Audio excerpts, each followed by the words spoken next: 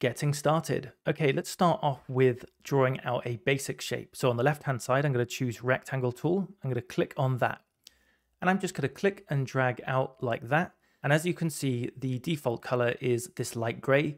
But for this purpose of this tutorial, I'm going to go over to the color tab and I'm going to choose orange.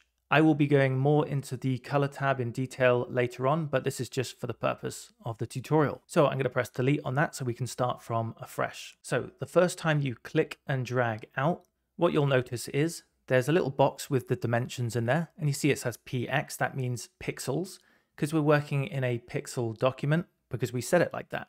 The other thing you'll notice is that I can't exactly draw a perfect square very easily here and also that it's a rectangle. That's about it. So this is kind of drawing freehand, okay? I'm gonna let go.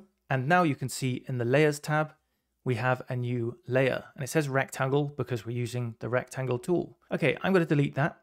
So another way is, and watch where my cursor is, if I click and drag out like we did before, but this time I hold down command on the keyboard, you see it's scaling from the center. So no matter which way I go, it will stay centered. Okay, and then we can just let go and our shape is created.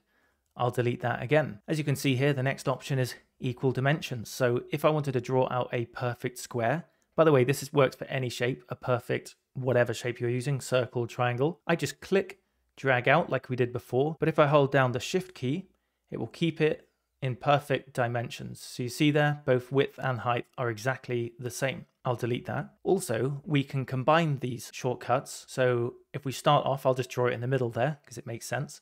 I'll click and drag. I'll hold down command and I will also hold down shift. And now I can drag from the center outwards. And that is the basics of drawing out your first shape. There is this one other option I will show you, but I never use it and I don't know many that do, but here it is. Click and drag out, but now just hold control on the keyboard and you can see that it's kind of anchored up here on that left edge.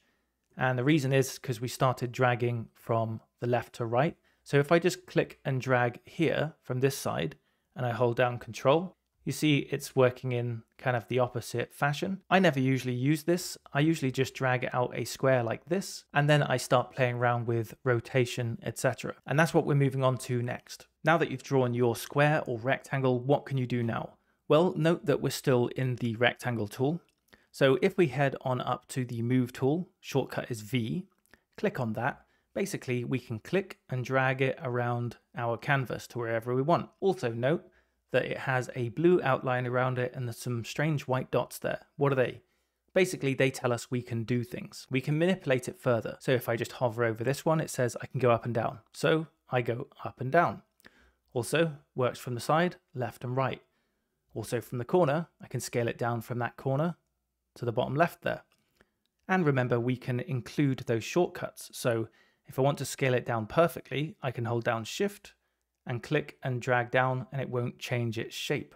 What else can we do? Well, we can head to this section here and we can skew it. So if I click and drag, I can go left and right and it shows the degrees of skewage, I'm going to call it.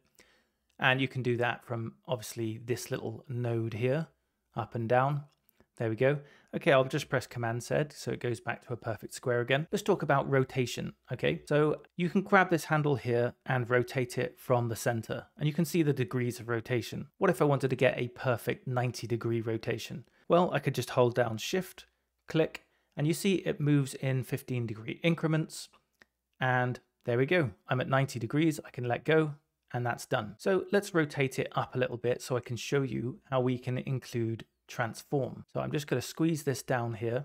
And by the way, if you wanted to squeeze it not just from one side, if you just hold down command, it squeezes and expands from the center.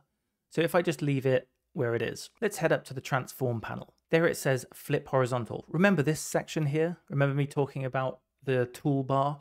Basically it allows you to do quick actions that you might do quite often. Flip horizontal. I'll click it once. It's done it. If I click flip vertical, you can see it's done it. Probably be better with a different shape, but it is doing what it's supposed to. And let me just change it so this one makes more sense. Rotate anti-clockwise. If I click on that, it's done it. And if I click rotate clockwise, it's done it. So there's some of the actions that you can use. Also, I'll just briefly touch on this, okay? If you wanted to copy this shape and you don't want to try and draw out the perfect one again, you can press Command C to copy, Command V to paste, and you can see in the layers panel, we now have two copies. So I can just drag that out. Oh no, but look, it hasn't dragged out in a perfect alignment.